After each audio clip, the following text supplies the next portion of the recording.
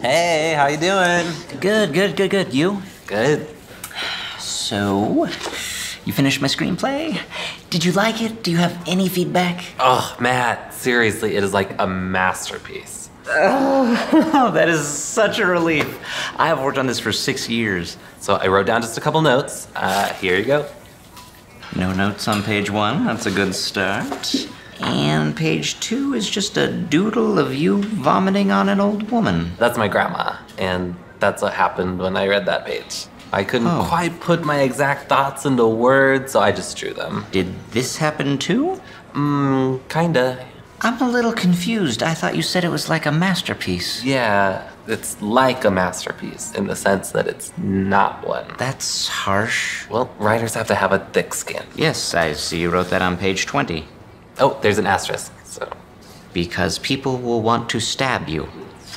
I read a page to my cat, and he died immediately. Your cat was pretty old though, right? Yeah, but he just ran out into traffic and did this.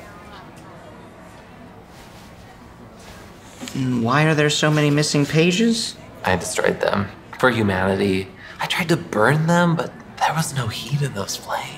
So I threw them out, and a bird came and took shreds of those papers to build a nest. So I destroyed that nest, and the eggs, and the park it was in. It's better this way.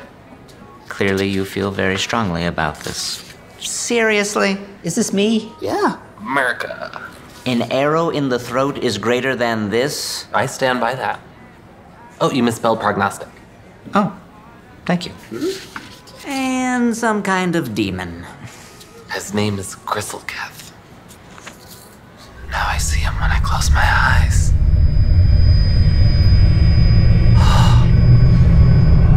You know what? Thank you for reading this, but I don't want any more of your notes. Oh.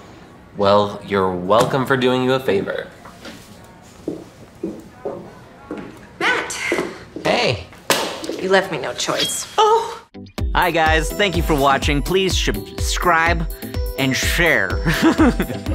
Nailed it. We're done. Done.